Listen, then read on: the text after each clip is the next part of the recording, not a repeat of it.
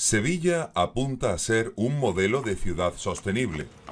La bicicleta reúne las características ideales como medio de transporte para contribuir a conseguir ese modelo de ciudad sostenible, porque rebaja los niveles de contaminación, ahorra energía, mejora la movilidad de los ciudadanos, resulta beneficiosa para la salud y mejora las condiciones de vida de todos.